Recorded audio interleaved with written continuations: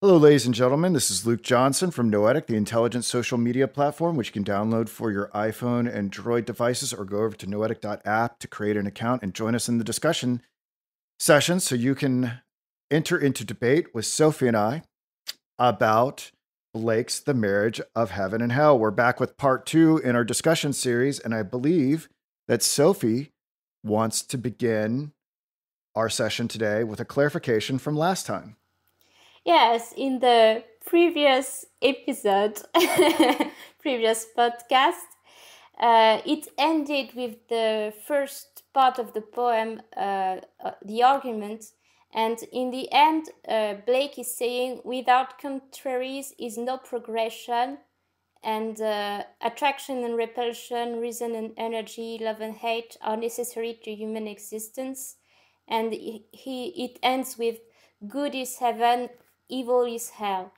And uh, as we, I think we talked about the psychiatrist uh, Carl Jung uh, in the first uh, podcast of this series, and he just, I just wanted to say that he wrote a book on this specific subjects of the opposites uh, and the marriage of, uh, of the opposites, which is named the conjunctio in alchemy and uh, his book is called uh, uh, Mysterium Conjunctionis. Oh yes, Latin. oh yes. Do you have that book?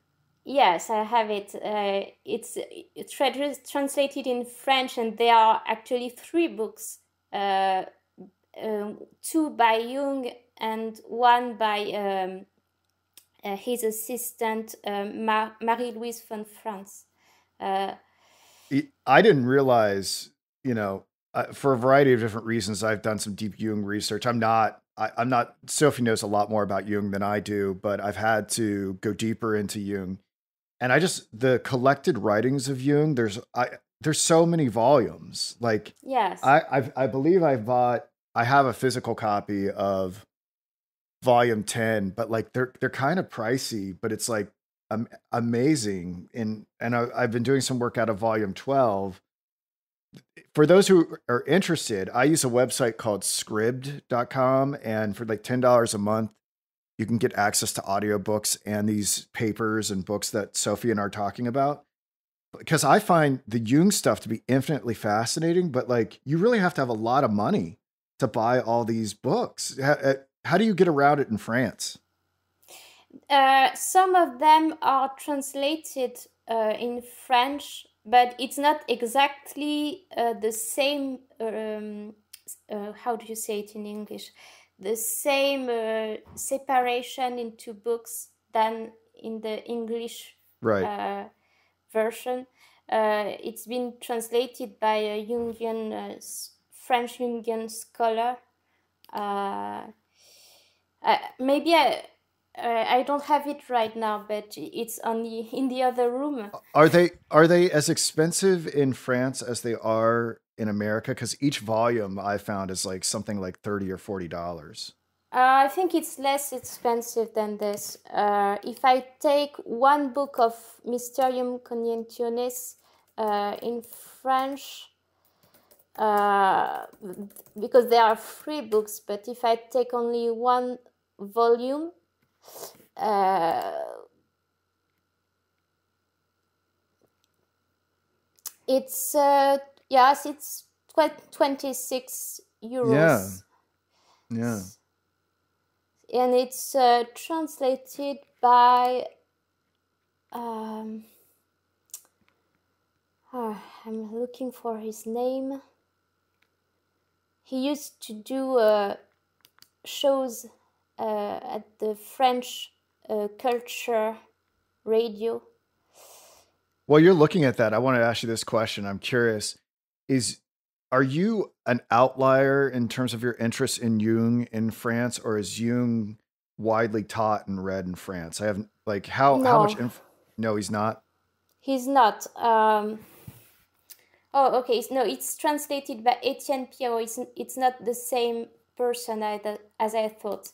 Uh, but no, in French, Jung is not very popular. Uh, in France, Freud is very popular. Uh, but uh, not Jung. Interesting. Interesting. Well, let's uh I could talk, you know, I have a lot of Jung stuff that I want to talk about. So maybe like once we get done with some Blake, we can talk some Jung because I have tons of Jung stuff I want to talk about. But uh is there anything else you want to say about the end of the argument before we jump into the next part of Blake's uh, poem, the the voice of the devil? No, I think we can start the the second part, second episode. okay. All right. Well, you know, I kind of just to give people a sense we didn't talk about this, but I was thinking maybe one of us could read the uh read the read the voice of the devil and one of us could read the memorable fancy part. Do you want to read it or do you want me to read it? Uh, as you prefer. I'll read the voice of the devil and then you can do memorable fancy. How about that? Okay. All right. All right. The voice of the devil. All Bibles or sacred codes have been the cause of the following errors. One, that man has two real existing principles viz., a body and a soul. Two, that energy called evil is alone from the body, and that reason called good is alone from the soul. Three, that God will torment man in eternity for following his energies. But the following contraries to these are true.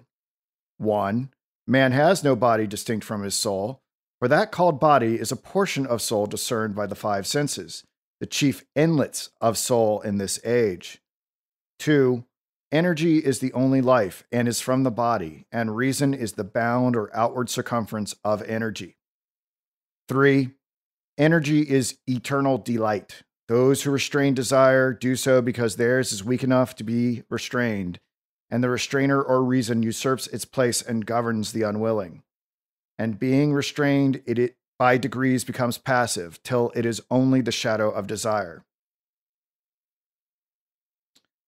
The history of this is written in Paradise Lost, and the governor or reason is called Messiah and the original archangel or possessor of the command of the heavenly host is called the devil, or Satan, and his children are called sin and death. But in the book of Job, Milton's Messiah is called Satan. For this history has been adopted by both parties. It indeed appeared to reason as if desire was cast out.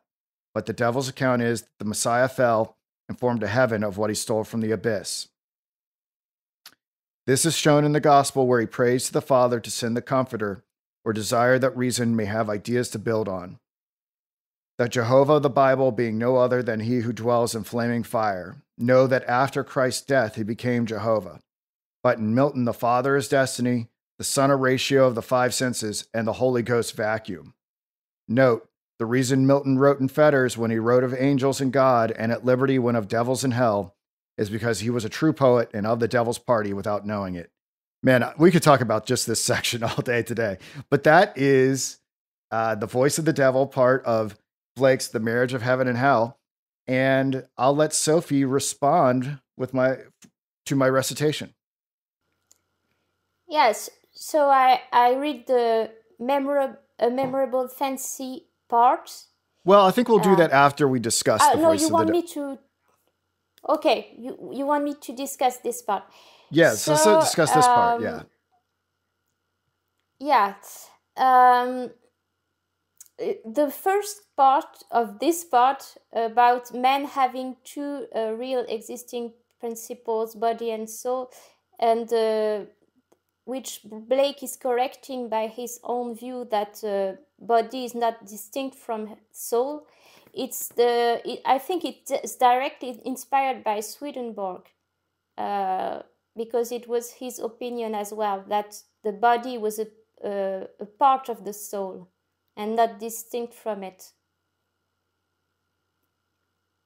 I, I'm still early in my knowledge of Swedenborg, so I don't know exactly the doctrine propounded in Swedenborg about this particular uh, theology of the body and the soul. The only thing that I have to say about that, at first, you know, I, I worry that like a lot of our conceptions of biblical theology is influenced by Greek metaphysics, uh, the the synchronization of them. But if you really go back into the scripture, which I dug up, Blake is not wrong. At first, I was like, well, Blake, I don't know if that's fair to say that there are these two antagonizing principles of the body and the soul, and they're competing. But just a, and it's deeper than this, but just a cursory survey of scripture, First Thessalonians 5.23, the ESV. Um, now may the God of peace himself sanctify you completely, and may your whole spirit and soul and body be kept blameless at the coming of our Lord Jesus Christ. And then again in Matthew 10 28, and do not fear those who kill the body, but cannot kill the soul. Rather, fear him who can destroy both soul and body in hell.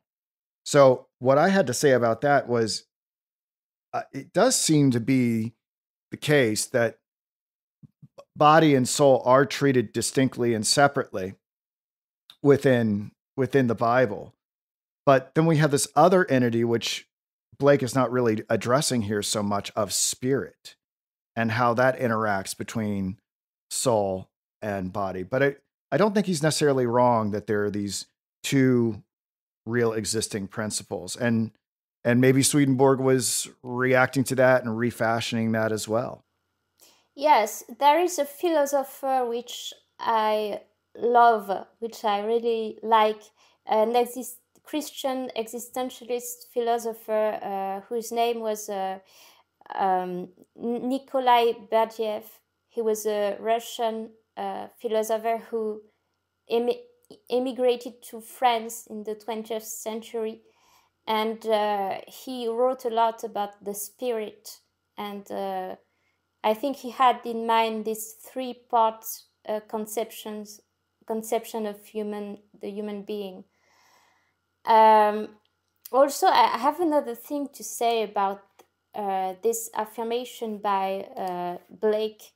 Uh, uh, when he says that the, uh, a portion of the of soul is discerned by the five senses, the chief inlets of soul in this age, and uh, it also made me think about Jung because uh, the way he talks about the self, he he says that as if this um, actually it's an interpretation by um, uh, Edward Edinger Edinger who we talked about in the previous episode, who was a Jungian uh, scholar, he interpreted Jung's uh, concept of self as uh, as if it's you know a telescope. You are looking uh, at the space using a telescope, and you have the the two dimensions of space and one dimension of time you have the space time and the, it's as if the self was the organ uh, which we use to uh, perceive space space time and i don't know how to explain it clearly but it's uh, i don't think anyone uh, does. Immanuel kant tried. But yeah it's a very difficult concept to to to wrap one's mind around. It, Jung's idea was every time you have a, a quaternity, like space time is a quaternity, you have three dimensions of space and one dimension of time. And every time you have a quaternity, it's a, it's a symbol of the self. And, uh, and so uh, the self is what we, we see the, the, the world, uh, we see the world through the self. And like you said, uh, uh, Kant, Jung was very much inspired by Kant. Kant. And you know what's interesting is that there's a relationship between Kant and Swedenborg as re- as well. Um, not a lot of people know this. I actually did a recording of it because I was so surprised that this hadn't been recorded for posterity. Um, you can go to the Noetic YouTube channel and check it out. But uh, Kant was so moved by the mystical experiences of Swedenborg that he felt compelled to address a whole book to it. It's called Dreams of a Spirit Seer. And I believe he wrote it earlier in his career before he got into the critiques or whatever. But he takes the dream, he takes the dream interpretations and the prophecies of Emanuel Swedenborg very seriously and tries to understand what's going on with them philosophically. So we do have this trifecta of of thinkers that are all interacting here with Jung, Blake, and Kant, kind of and and and ultimately traceable back to Swedenborg. Yes, and their common points also is that they are interested in dream interpretation. Yeah, I mean, this is how could you not be right? I mean, this is the thing. Uh, for a long time, I eschewed like the, taking the idea of dream interpretation seriously. But as I began to take the Bible more seriously, the Bible is filled with countless episodes of dream interpretation. What's interesting is that we didn't stop interpreting dreams within respectable ac- academia. We just started attributing new concepts to them. Like with Freud, we started attributing things like uh, sexualized concepts to them rather than things like famine. So it's it's it's interesting that you can trace dream interpretation that goes on within modern psychoanalysis all the way back to the the Bible, if not earlier. Yes, the most famous one is Jacob's dreams, in which yes. he sees the ladder and the angels uh, which are going up and down. Yeah, Jacob's. And uh, Joseph, who became second in command of Egypt, uh, was renowned for his ability as a dream interpreter. So I guess what I would say to Christians and to academics who are inclined to think outside the box is that uh, dream interpretation is a real thing and condoned by God in some instances. So, yeah, uh, not do not ignore our dreams. Uh, I, I, the uh, I'm trying to think about some other things that I thought was interesting here. The way that Blake talks about the soul, it it kind of made me think that he, rather than viewing it sort of dualistically, that he's got some sort of emergent materialistic worldview, at least coming from the the voice of the devil. Um, but that we don't necessarily see this in scripture.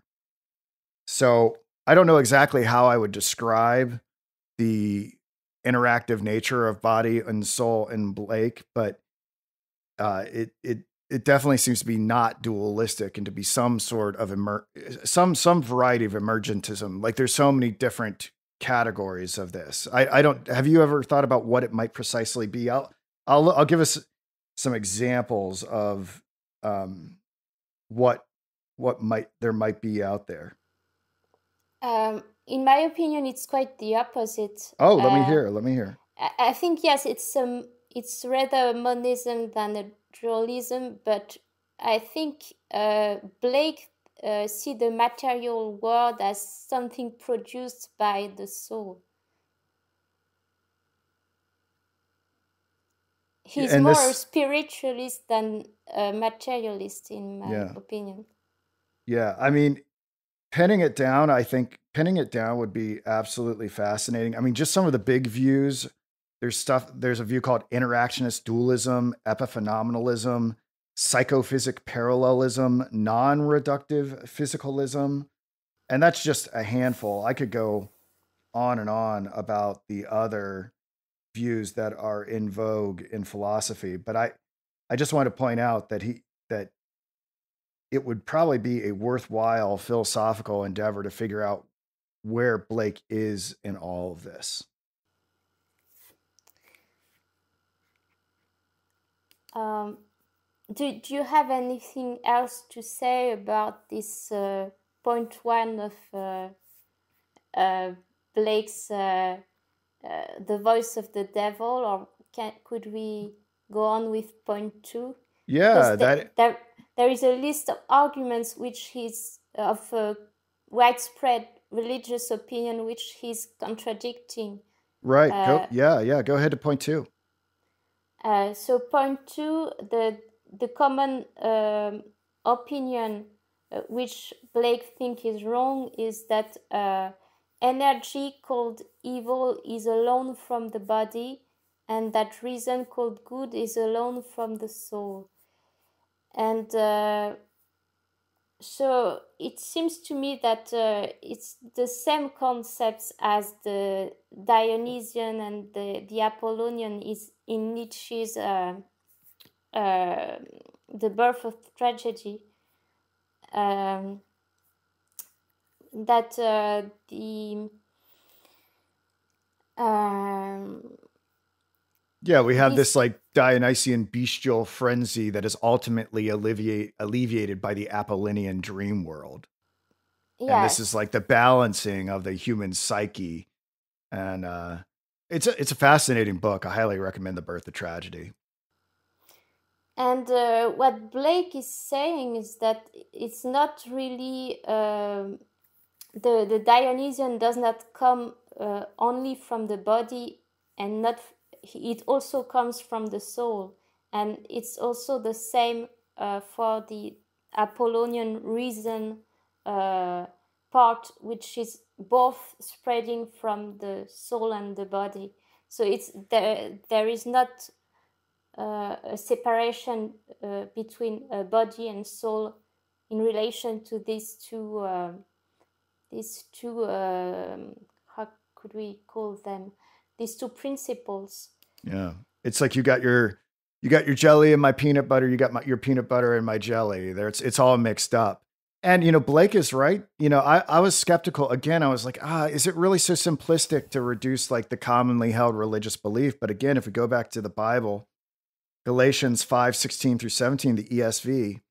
But I say, walk by the Spirit, and you will not gratify the desires of the flesh, for the desires of the flesh are against the Spirit, and the desires of the Spirit are against the flesh. For these are opposed to each other to keep you from doing the things you want to do. So it's pretty clear there that there is the separation, at least as it's talked about in the Bible. Now, there are other instances that, that complicate the view, but at least from Galatians, I think we have uh, you know, we th- I think we can see what Blake is reacting to with the from the voice of the devil, and how inter- how interesting it is that the voice of the devil and uh, th- this prerogative, this perspective, is so neatly aligning with with Nietzsche. You know. Yes, and also we have these conceptions of the unconscious. Uh, some people divide the unconscious into two parts the subconscious and the uh, supraconscious and they say that the uh, normal consciousness is between the two so the subconscious would be uh, hell or underground consciousness whereas the supraconscious would be would be heaven in uh, using Blake's uh, metaphors or concepts. But some people, like Jung, would say that uh, actually both the subconscious and the supraconscious would be uh, uh, not separated, but both a part of the unconscious. And maybe if we use this, the concept of spirit as well. Maybe the, uh, spirit contains both uh, energy and reason. Yeah, we'll get into that a little bit when we talk about the the the Miltonic influence that is referenced here when he talks about how in Job, I, I think that was really the only thing I really struggled with. I thought was the most confusing part of the poem was trying to understand what exactly is going on with reason in the book of Job. I didn't have an opportunity to read the book of Job in preparation for this, but I, I generally have a feeling of it and might be worth review, reviewing some of the particulars as we get to that part. But let's look at these following contraries that the devil is claiming are true, if if that's okay. Okay. Oh well, I mean, do we want to say anything about the third one?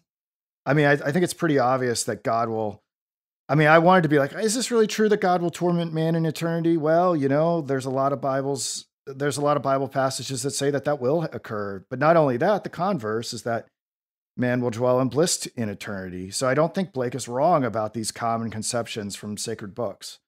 Now, I tend to agree with them, but Blake is offering offering a dissenting view here from the perspective of the devil. Yes, I think it's important to read the the last part, uh, which is God will torment man in eternity for following his energies. And I think that's what Blake is insisting on is that, in his opinion, following the energy, which uh, we could say it's. Um, uh, uh, from, we will see this in the rest of the poem, but uh, I think Blake is thinking about inspiration and the poetic genius when he talks about the energies and uh, the artistic uh, inspire ins- how do you say this in english uh, inspiration yeah yeah yeah what's interesting was we when we get to that part if you look into the etymology of genius uh, if you go back far enough it, it's connected to genii like like a genie and the genie is like an attending spirit and interestingly enough, throughout the Bible, it tells us not to entertain familiar spirits. And it makes you really wonder what men of genius are actually doing uh, if they're entertaining spirit guides, not unlike uh, what Jung did, right? Jung had a spirit guide that we, is revealed in the Red Book called Philemon. And Socrates, Socrates as well. Yeah, didn't he, yeah, what what did he had a well, it was it was called his daemon, wasn't it? Yes. Yeah. That's how that's what he called it.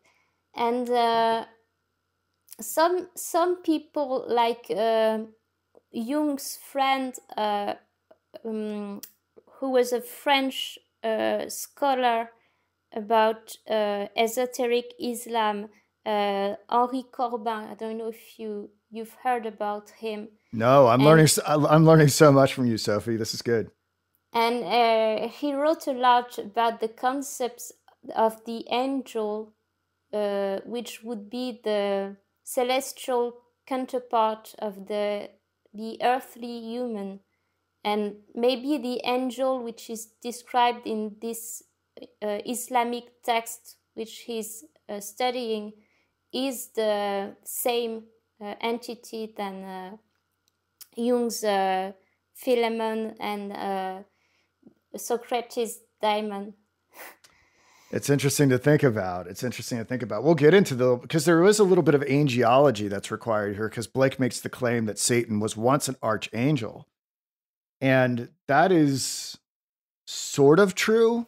Like he's called the most anointed cherubim, the, the cherub that covereth the throne of God. But archangels, depending on the tradition, even if you're Catholic or Protestant, uh, Catholics and Protestants have different names for the archangels. Like I think I think Protestants only really recognize Michael, whereas um, as a as an angel by name, an archangel by name, whereas like Catholics will recognize Gabriel and Raphael, and because of the other books that are part of the Catholic Bible, Uriel and uh, Jeremiel and several others. Um, it's a fascinating thing. Um, and then there are archangels in Islam. There are arch there are archangels in in uh in in Satanism as well. So it's it's a fascinating thing to determine what exactly an archangel is. But let's get to the where the the following contraries to these are true. He says, Man has no body distinct from his soul, for that called body is a portion of the soul discerned by the five senses, the chief inlets of soul in this age. And two, energy is the only life and is from the body, and reason is the bound or outward circumference of energy. So the only thing I, you know, this is where we get a lot of this talk that feeds into the doors of perception, you know, where we have to cleanse out our these portals and see the world anew. I thought that was interesting the way he used inlets.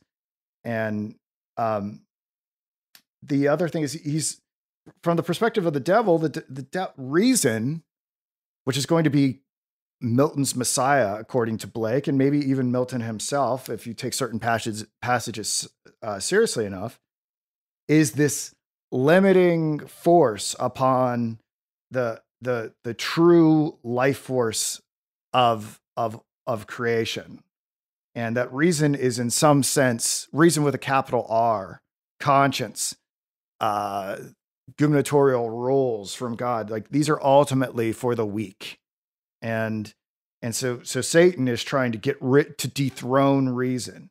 But we'll see he doesn't really dethrone it entirely. He actually ends up trying to pervert it and using it in its own way. Yes, uh, maybe I can comment later because I I don't have anything to say about it yet. Okay, let's keep going. Is that okay? Yes. Okay. Uh, energy is eternal delight. So here's where we get kind of this Nietzschean communication. Those who restrain desire do so because theirs is weak enough to be restrained, and the restrainer or reason usurps its place and governs the unwilling. And being restrained, it by degrees becomes passive till it is the only shadow, only the shadow of desire. The history of this is written in Paradise Lost, and the governor or reason is called Messiah. And just, I think, it, I, I might, I think the Milton reference is should be brought out here. Um, so we all know what we're talking about. Uh, this is from uh, a, a paper from uh, the an anthology class at central.edu. I'll, I'll have it says after the fall, Adam and Eve are no longer ruled by their reason. As with Satan, they experience a reversal in their status. They once had all the freedom they could want as long as they followed God's one order but they presume to make themselves higher and ate of the fruit for completely selfish reasons. So it's not that reason, uh, this is me talking, it's not that reason wasn't involved. It's just that the reason became egocentric and not objective like a Kantian. They lost their freedom and were forced out of the garden because they were against their, they went against their nature. God made them perfect, but they presumed to become more than perfect, as corresponds with Satan's reason. The way they thought was reversed as well. In the beginning, they used their reason first and made their decisions that way. In Book 9, reason is overcome by the other faculties of the mind. And this is Milton, a direct quote to sensual appetite, who from beneath usurping over sovereign reason claimed superior sway. 1129 to 1130. Adam and Eve gave way to lust and desire, ignoring right reason. They became even more like Satan through their selfishness and lust. Satanic reason is one of the driving forces in Paradise Lost. Milton uses Satan's concept of raising himself higher to provide logical cause for both the fall of Satan and of Adam and Eve. By masking his reason with a silver sliver of truth, Satan is able to manipulate the fall of man. Milton draws a correlation between the reason of Satan and the logic of mankind by using Adam and Eve as examples of Satan's influence on the human race. So, Yes. there's a lot yeah there's a lot to say here but but essentially why i was saying that it's nietzschean is that the way that blake is talking here through the voice of the devil is that it's a lot like the the the, the paradigm that nietzsche uses in the genealogy of morals where morality is invented in order to justify the ineffectiveness of the weak and ultimately to overtake the strong who are more in touch with their uh, uh, striving and overcoming and the spirit of the Ubermensch. So that's why it seemed very Nietzschean to me. And what he's talking about in terms of of Milton here is that the only way that we could get a fall to happen is if there was a twisting and a perversion of reason so that it could be employed by the egocentric faculties in order to call the fall, cause the fall of both Satan and Adam himself. Yes, I have a lot of things to say uh, about you, this part. Yeah, you go, girl. I was talking for a while. Uh, yes, so I think it's important to to speak about uh, Job. Uh, is he talking about Job just after this? Yes, he said uh, in the book of Job, Milton's Messiah is called Satan, and um, in the previous uh, podcasts uh, I made a mistake because uh, I said that uh, the uh, uh, picture of uh, the um, illustrations of the book of Job by William Blake was in the book by Judy Singer, Blake Jung, and the Collective Unconscious.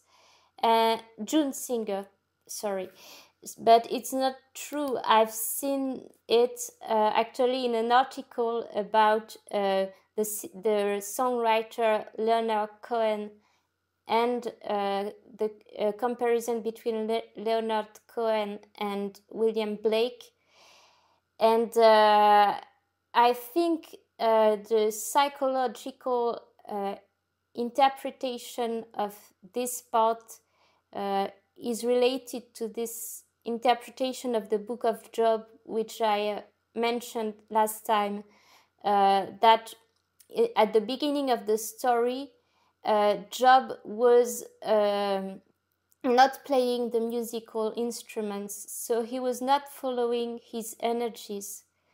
And as a consequence, he became um, uh, he's it's like his as if his soul was uh, dry as if he's, he lost his inspiration his uh, poetic genius.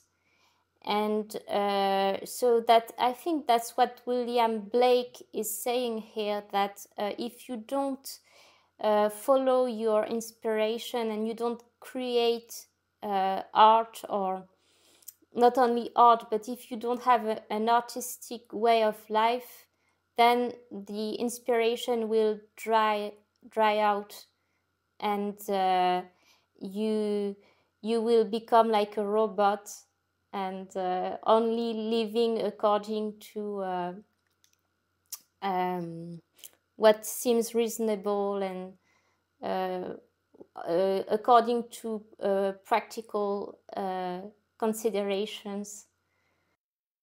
Yeah, then that gets into the note about how he says that Milton was in fetters, right? And when he was when he was writing about the angels, he was imprisoned. But when he was writing about the devils in Paradise Lost, he was he was actually doing the work of the devil. And I think what Play, Blake is trying to say there is that um, reason was shackling uh, Milton when he talked about celestial, heavenly things, and it wasn't until he was re- could he could really let loose when he was talking about demons because he didn't have to be uh, so in your terminology roboticized by the Messiah of reason.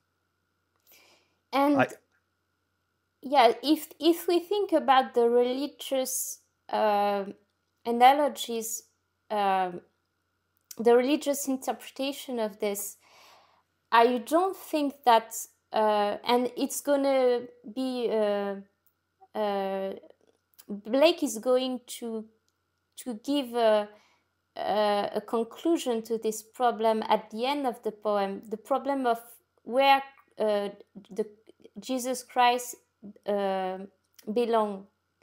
Uh, is he? Can we? Could we really say that his reason? Uh, and in in his Blake is going to answer answer this question at the end of the poem. Yeah, I, I I haven't done a full breakdown of the end of the poem, so I can't I can't really speak to that. I'm hesitant to say yes or no either way.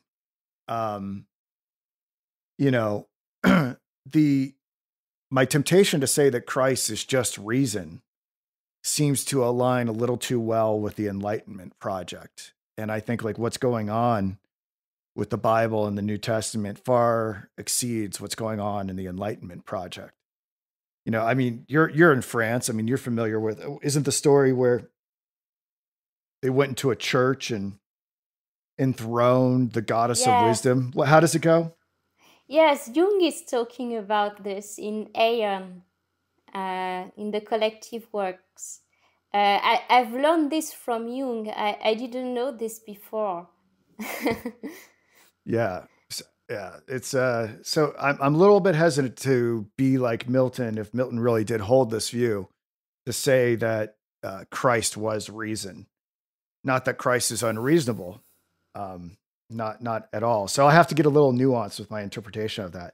One thing I wanted to point out about this, uh, uh, um, the Job, uh, Milton's Messiah and Satan line, but in the book of Job, Milton's Messiah is called Satan. Um, oh, and buff, above it, his children are called sin and death. I thought I was like, what is Satan has children called sin and death? Where is this coming from? And so I did a I did a little, I had a chance to review my notes from last time. I looked at this a little bit. And at the Met Museum, there is a painting that everyone should check out called Satan, Sin, and Death. Death and Sin Met by Satan on his return from Earth, 1792 to 95 by James Barry Irish. And it and it's taken apparently from Paradise Lost, book 2, 630 to 814, and it describes Satan's arrival at the gates of hell after being cast, down, cast from heaven Satan, finding death guarding the entrance, menaces that skeletal form as the bare breasted figure of sin intercedes. He does not recognize this ghastly opponent conceived incestually with sin as his son. This drawing made as Barry planned a series of large etchings inspired by Milton's Paradise Lost demonstrates the artist's deep engagement with the aesthetic concepts of sublime. So uh, it is in the Miltonic uh, tradition where sin is this offspring of Satan, or death is this offspring of Satan that is conceived with sin, I should say. Did, uh, had, have you ever seen, heard this concept or seen such No, paintings? no, I haven't. Um, I had something to say about. Um, I'll I'll share. uh, I want to show you the the the painting. I'll send it to you in our chat so you can take a quick look at it. It looks a it it looks like the uh it it looks like something Blake would have done. yes, I, I just wanted to, to say that Blake is very much uh, uh, the in the tradition of the romantic movement. Isn't even if he's a bit before the the romantic movement, but uh, as a he's uh, uh, reacting against uh, the Enlightenment ideas, and uh, I, I think it's his um, ideas are more uh, in this reaction against uh, reason than it's not ex- exactly. um it's it's as if he equates uh, traditional uh, morality with the Enlightenment ideas. Uh, a bit like uh, a theologian like um, uh, Saint Thomas, uh, who was a, a rationalist in the Christian tradition. Yeah, it's been a while since I've looked at Aquinas's morality stuff. I know he was deeply influenced by Aristotle, so I'm not sure if he just like took the Aristotelian conception of the mean and Christianized it. Uh, it's been a long time since I've looked at him, but uh, yeah, there's going to be a lot of. Th- it's hard to say what biblical morality is. It's it's simultaneously simple and complex. I mean, I think it's distilled enough down to the great commandments that Jesus gave, which seems to look a, like, a lot like the categorical imperative of Kant, loving the neighbor as thyself and loving God uh, with all your heart, mind, and soul, or, or something to that effect.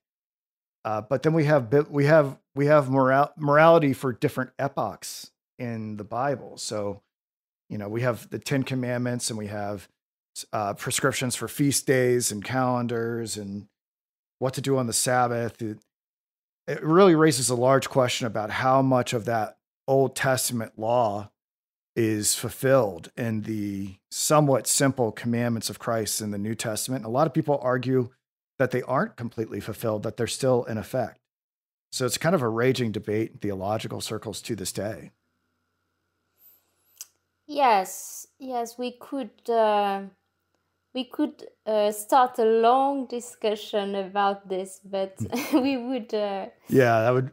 Yeah, I, I don't, I don't, I don't pretend to have the answers to it. Uh, but I think Nietzsche, Nietzsche, uh, Nietzsche's book of about the general, uh, the two books actually um about uh, beyond good and evil and the genealogy of moral uh, morals uh, is really going deep about this subject. most definitely, most definitely.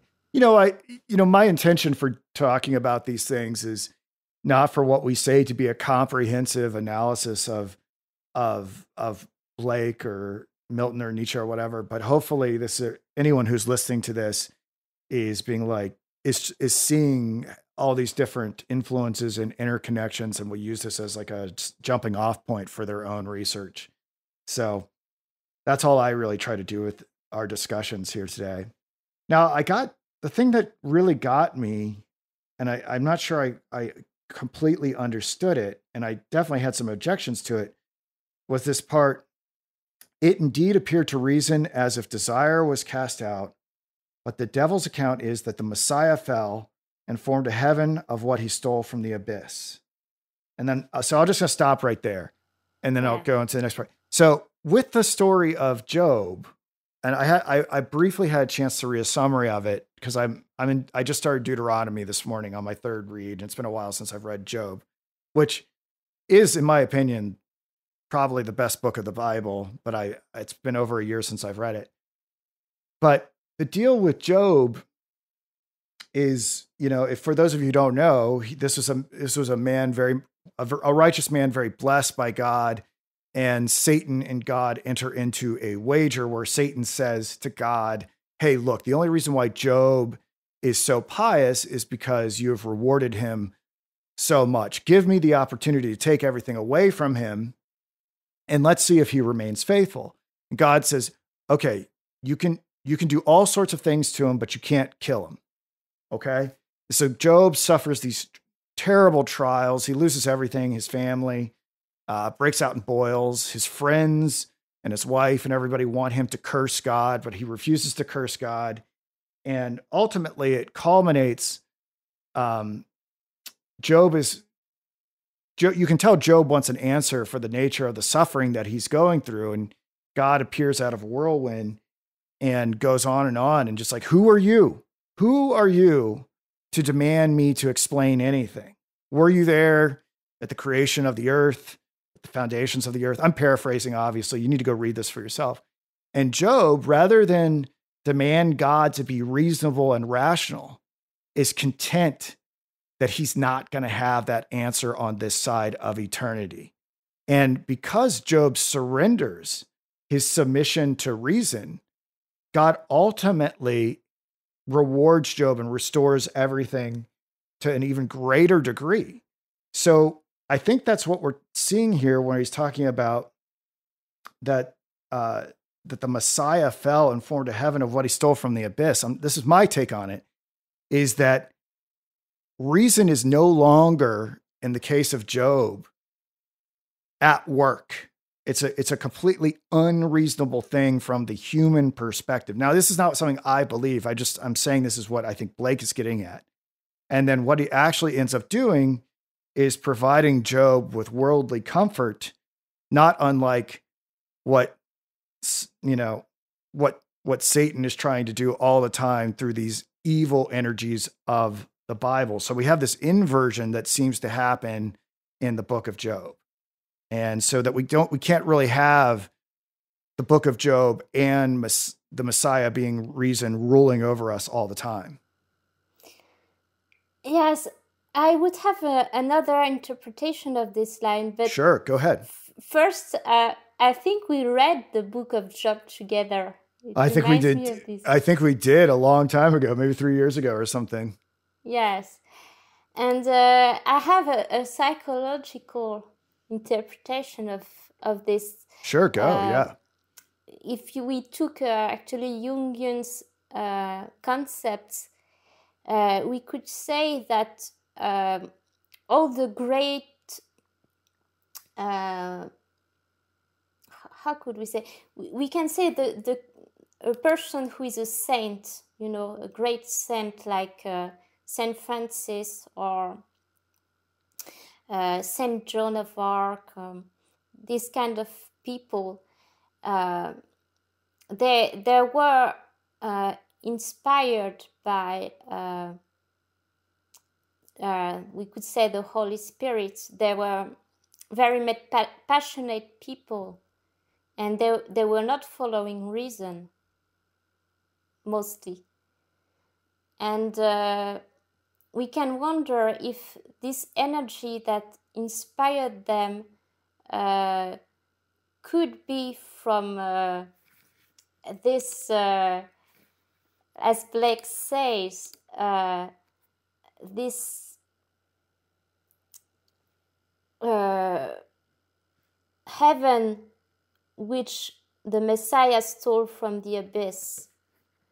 If we, we say the abyss is the unconscious, uh, we could say that the energy of the great sense comes from the same place as uh, uh, the um, the unrestrained desires. Yeah, I mean, and and what you know when Jesus says he's going to send the Comforter, perhaps that's what that is. At least what Blake is saying from the perspective of the vantage of the of of of the devil. So, and it says that or desire that reason may have ideas to build on. And we could also say that people who are rationalists, uh, who completely reject uh, the emotional and instinct, instinctive uh, functions of human being, of the, the human being, these people don't realize how much they are influenced by their inst- instincts and emotions. And right. Uh, they they make a separation which actually doesn't exist. It's, it's not even, even if you talk uh, take a materialist uh, a point of view, it's not working like this in the brain.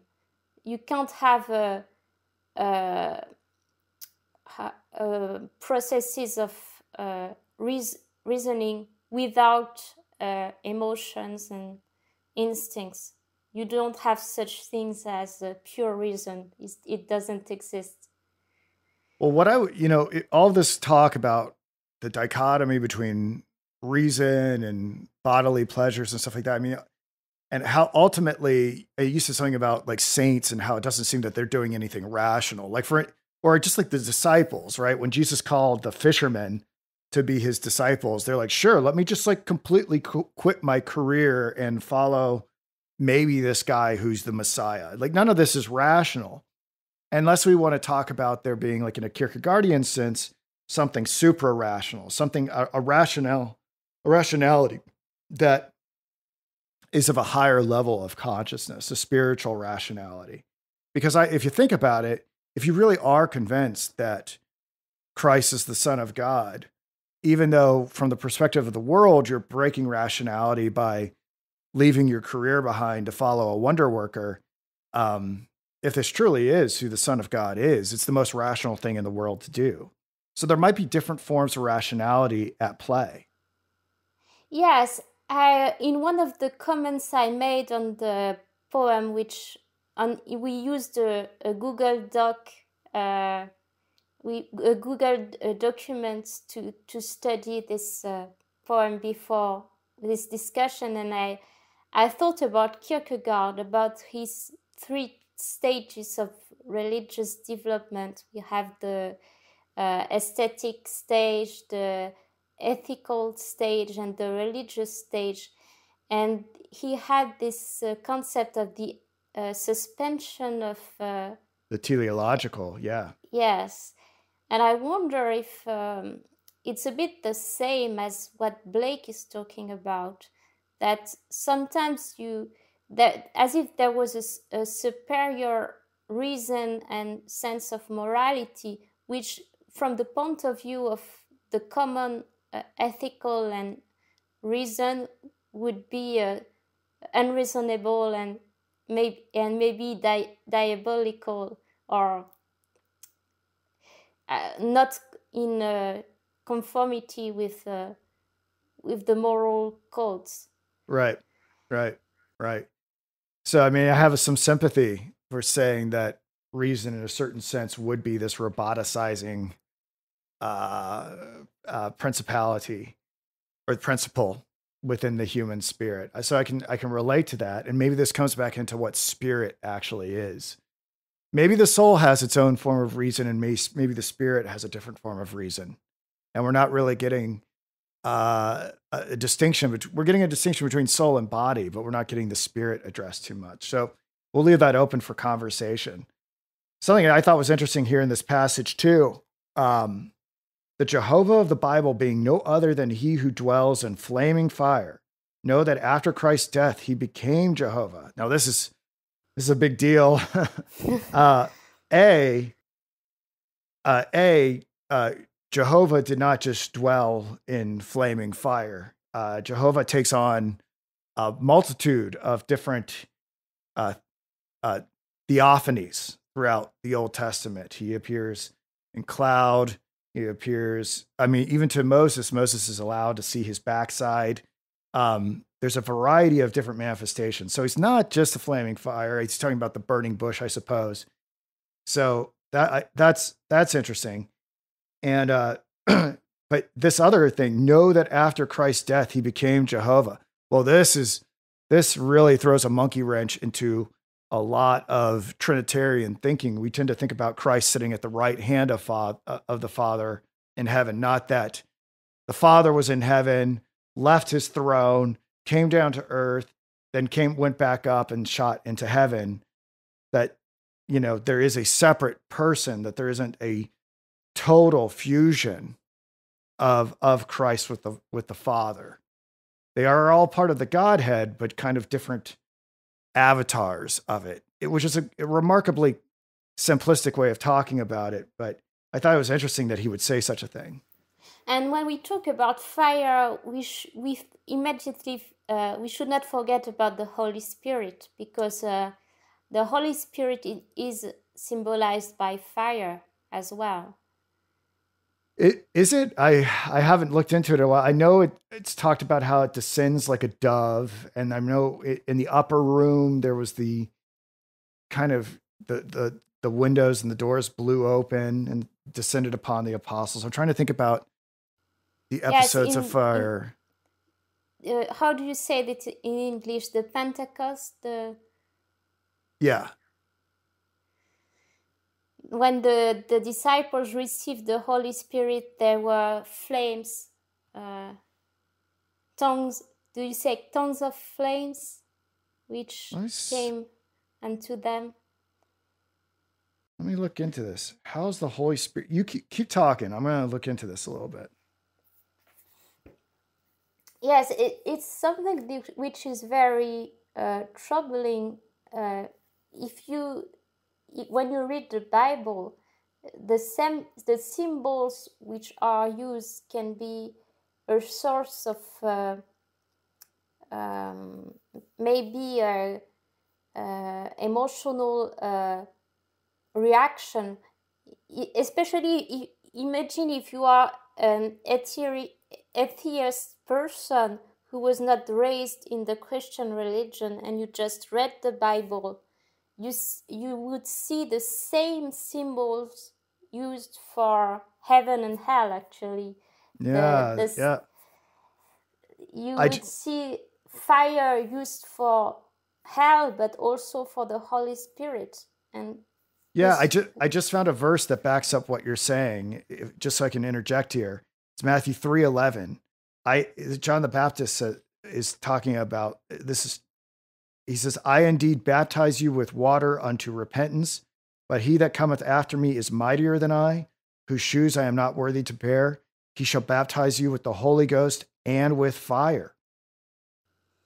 So yes, and uh, the uh, uh, scholar, religious scholar, which is not who is not very uh, orthodox, uh, even if he she is from the Orthodox Church her interpretation is not very orthodox. Uh, she's uh, named uh, Annick de Souzenelle, and she's still alive, and she made uh, her own interpretation of the Bible, and uh, she she says that uh, it's, it, actually she says that it's not her own interpretation, but her the way she talks about it is not the orthodox interpretation and she often talks about three baptisms. She says that in all traditions there are three baptisms uh, baptisms, baptism of water, which would be the first baptism,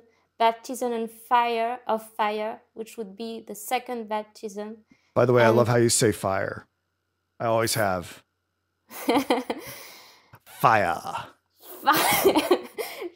I I don't know if I pronounce it well. No, no, it's great. The the I I'm not even looking at your face right now because I'm looking at my notes. But whenever I've ever heard you say the word fire, your your eyes light up. and the third one would be the skull baptism. What, what what's the third baptism? The skull, um, you know, um, skull, like yes, like the... I, I'm I'm searching for the the correct word uh, in English. Uh, you know the like Golgotha. Yes, the Golgotha baptism, and uh, so Christ had, according to Annick de Souzenelle, uh, Christ has lived the three baptisms. The first is the water baptism, which he experienced with John the Baptist, uh, and the second would be his whole. Uh, uh, how do you say this? The his whole uh, pu- public life, where he uh, where he performed um, mirac- mirac- miracles, and the skull baptism would be the Golgotha, his passion and death. Is that a is that a blood baptism when you talk about the skull and Golgotha? Because we are made anew by the shedding of Christ's blood. Is is it when you say skull? Is that synonymous with a blood a, a blood no, type of baptism? I'm not. I'm not sure that's what she meant. Mm. Um, I, I, think it's uh, really related to what happened when he died, and maybe uh, it's because she's from the Orthodox tradition as well. The Orthodox Christian uh, think a lot about uh, Christ descending in uh, uh, in uh, hell after he died before the resurrection. It's uh, an episode which is important to Orthodox Christians. Oh, it's important for Protestants too, even though they don't know it. A lot of people don't understand that he descended into Abraham's bosom. It's talked about into in Ephesians, which is a compartment of hell where the because no man could ascend into heaven before Christ came. So you had a lot of the Old Testament saints like Abraham and and Moses who had not been uh, had not been given the chance to uh, have the blood atonement of Jesus Christ. So he had that's why he had to go preach in hell, a, a compartment of hell at least. Yes, uh, and uh, the so this third baptism is very much a mystery, and even she uh, doesn't have a very clear interpretation of it. Uh, but it's related to, to, Christ's death and maybe his descent uh, into hell. Are you a Twin Peaks fan at all? Twin Peaks. Do you do you are you a Twin Peaks fan? Twin Peaks. I I don't understand. Oh, it's a it's like a it's like a mini series and a movie by David Lynch.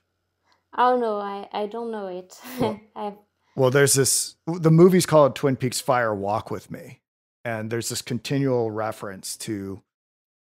Uh, there's a there's a very cryptic poem that pervades it, and I, am wondering if this fire baptism and f- the fire walk with me are somehow connected.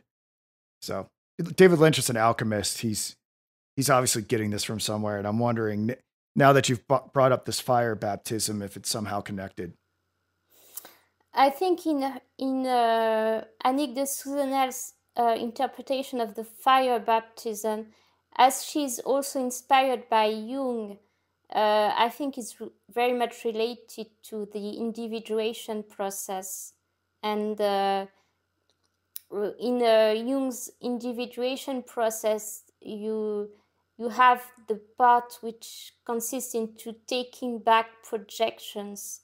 So what you what, what you experience in the world you realize it's part of yourself and uh, i think her concept of the baptism of fire is very much related to this is how you um, as you experience life you realize that nothing is outside from you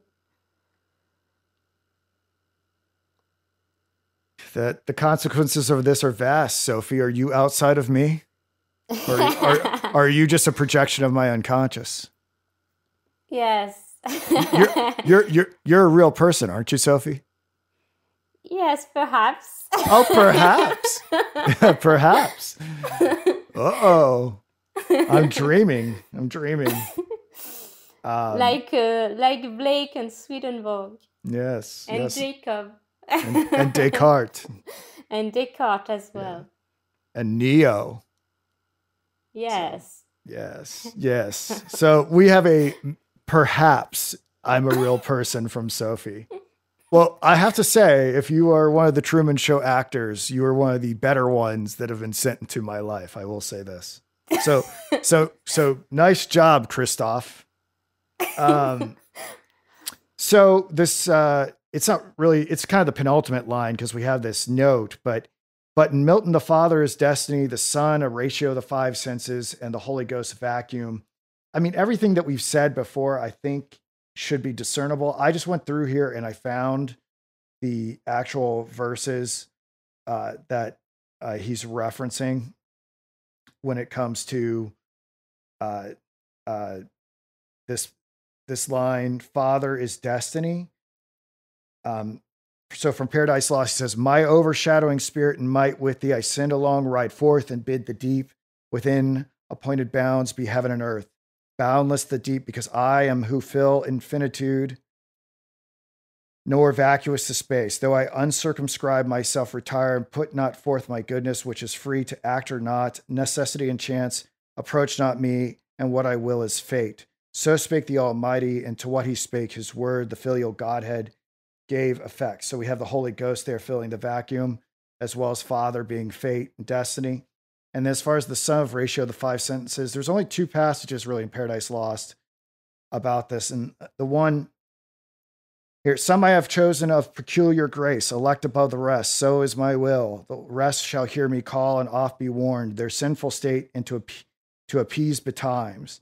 The incensed deity, while offered grace, invites, for I will clear their senses dark. What may suffice and soften stony hearts to pray, repent, and bring obedience due. To prayer, repentance, and obedience due. Though but endeavored with sincere intent, my ear shall not be slow, my eye not shut, and I will place within them as a guide my umpire conscience, whom if they will hear, light after light, well used, they shall attain, and to the end, persisting safe arrive. So I think these are all, um, you know, we, so the sun, a ratio of the five senses, we have this I, I, take that to be that umpire of the consciousness. So I think these are the passages that Blake is referring to in Paradise Lost. There might be more that I missed, but I, I believe this that covers it. And I already sort of gave my interpretation of what I thought the note meant. And to be honest, Sophie, we've been going for about an hour. We may only get through uh, this today because I'm I'm pretty tired and need to rest a little bit. But we can keep going if you want. Um, do you want to close out and say anything about this note uh, or or the penultimate line? Um, I think it's important that Blake is mentioning uh, the the fact that Milton was a poet because I think, like we said, the the poet the poetic genius is really the central theme of this poem, I think. And uh, we will see this uh, in the next episodes yeah. of this podcast. You know, what's amazing is to is you know I I did uh, the Divine Comedy this year. I read that and doing Paradise Lost.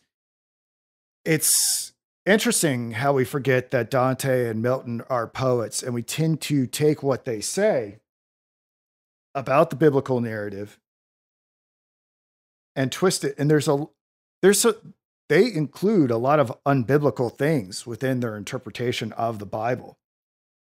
And it's uh it's really interesting how what we understand the Bible to be actually saying gets jumbled together with these poetical works that are presupposing the Bible. And I just think to myself, to go back to fire, how dangerous that is. Like I'm trying to get in the mind of a of a Dante or a Milton. You know, obviously they had read the Bible. Obviously they were very familiar with it. But why they would try to explain it or elaborate upon it or kind of insert things into it that weren't there. You know, I, I'm wrong about a lot of things in the Bible, and I always say, don't listen to me, go read it yourself, because I don't want to lead anybody astray as I'm working out my own salvation. But Milton and Dante really didn't have any problem with taking liberties with the Bible. And I have to that that's the hubris that's involved with that. As great as I think, I especially like Paradise Lost. I actually like it better than Divine Comedy. But I think about that and I was like, I, I would never do that. The risk is so high for error, and you could lead so many people astray.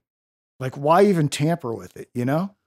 Yes, I, I would like to, to end this uh, episode by linking the three persons uh, I talked about, there, there is a common point between Swedenborg, uh, Annick de Souzenelle, who is still alive, and uh, Leonard Cohen, because the three of them read the, the Bible in original Hebrew uh, language. And the, uh, Leonard Cohen was uh, Leonard Cohen was like Blake. He was a poet himself, and uh, I think the Hebrew langu- language is a poetic language, and uh, Blake is going to to write about this uh, in the uh, in the rest of this poem. There is a, a passage about the prophets, uh, uh, which are and David, King David, which Blake considers as a as a poet, and we, we could say the same of Leonard Cohen. He uses the Bible as an inspiration for his songs.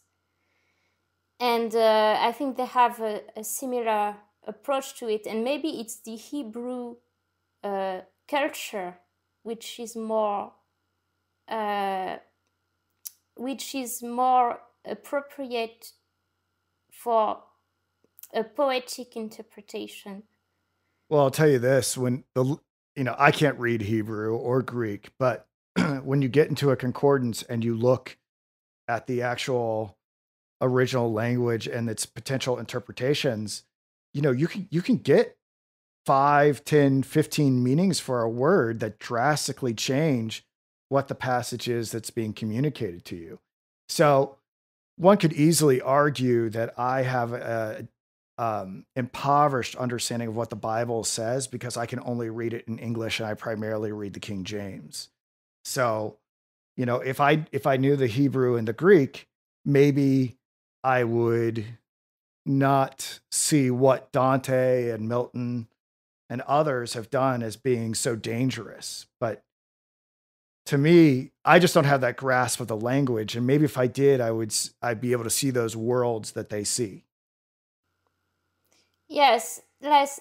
Well, the essay maybe I, I we could link it in the uh, yeah, podcast send, or send it to me. Yeah. I think yes, I could send it again uh, to you about the William Blake and uh, Leonard Cohen, and they insist that Hebrew is really appropriate for poetry. It's really a, a language, as you said, which has many interpretations. So it's very a language which uh, make people think poetically more than maybe English or French. Yeah, I mean the yeah, I agree. I agree. All right, well let's do you mind if we we call it a day there? I know we only got through the second portion of the poem, but we had a lot to say, and I feel like I, f- I feel like we've given people a lot to digest, and maybe we'll come back and do the do the proverbs of hell and memorable fancy next time. Yes, we could do this. All right. Thank you so much, Sophie, and thank you everybody for listening. I'll have this up and edited later tonight. Thank you, Sophie. Thank you.